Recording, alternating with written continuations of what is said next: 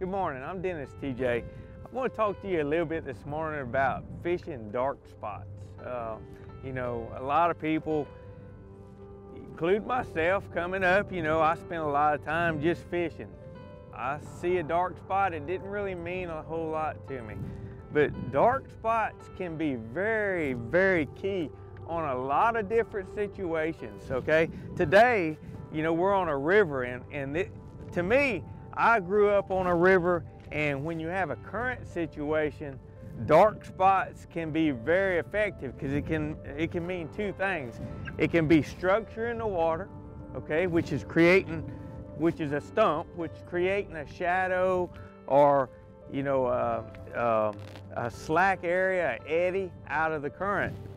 So, you know, what, what you want to do, you always want to throw past the dark spot, okay? And most of the time, the fish will be laying behind it. When I come by the dark spot, I'll stop it, okay? Now, a lot of times that will trigger a bite or trigger a feeding reaction from a fish that's hiding there, okay? But dark spots can be key in other situations also.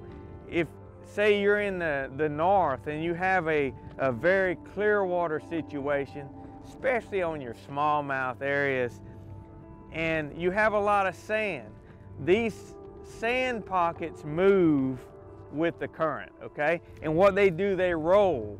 Well, when they create a deep hole, it creates a dark spot, okay? So sometimes we'll go fishing strictly dark spots.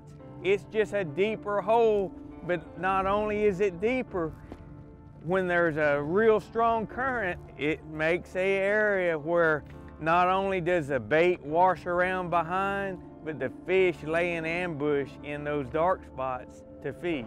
So never pass up a dark spot when you're fishing.